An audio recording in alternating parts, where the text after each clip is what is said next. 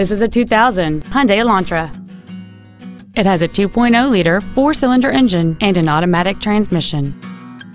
All of the following features are included. Full power accessories, a rear window defroster, privacy glass, dual airbags, and air conditioning.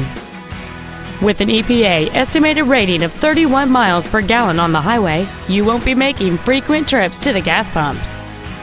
We invite you to contact us today to learn more about this vehicle.